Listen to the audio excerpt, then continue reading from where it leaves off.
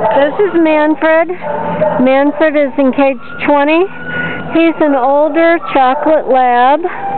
He seems like a real sweet guy. Very laid back. It would be nice to have someone take him home. He loves attention.